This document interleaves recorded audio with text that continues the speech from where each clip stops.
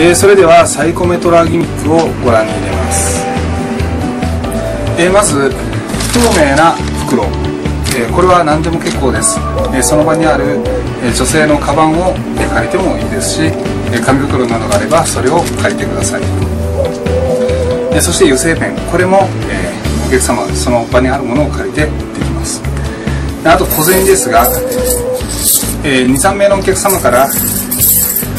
できるだけ多くのコインを借りるようにしましょう。さて、えそれでは、えまずこの中の1枚をお客様に選んでいただいて、え印をつけていただきます。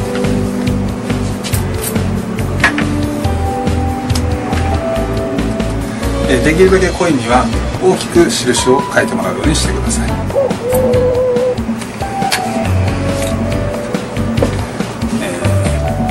星のマークが書かれました、えー、インクが、え乾かないように乾くように、えちょっと息を吹きかけて乾かしておきます。そして空っぽの紙袋の中へコインを入れます。さらに残りの小銭を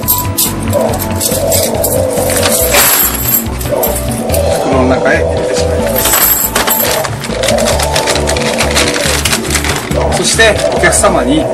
袋をよく振って、コインをかき混ぜて使います、えよく、えー、超能力捜査官などという話がありますが、えー、写真や、えー、凶器、えそういったものを、え発見された、え遺留品を触ってそのものに残っている記憶を読み取るという、えそういった力が、えありますがこれをサイコメトラーと言います。えそれではこれからサインされたコインの記憶を探ります。え大量にコインが入ってますがその中の1枚だけがえサインをされたという記憶が残っているわけです。もちろん袋は全く見ていません。え大量に入っているコインですがこの中の1枚だけが記憶を持っています。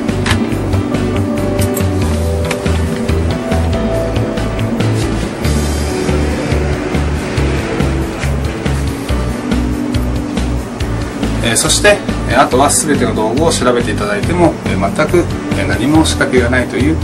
マジックです。